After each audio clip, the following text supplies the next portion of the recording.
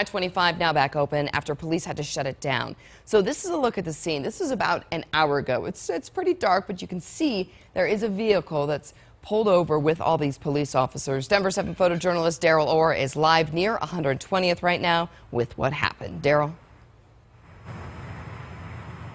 Yeah, actually, we're at mile marker 236, uh, quite a ways, probably about 16 miles north of E470 uh, out here in Weld County. But about 2:45 this morning, Denver police received a report of a vehicle and two suspects inside who uh, showed a uh, firearm to other people. They notified Denver. Denver put uh, information out to all different police agencies, and up here in Thornton, they were able to spot the vehicle, got into a pursuit.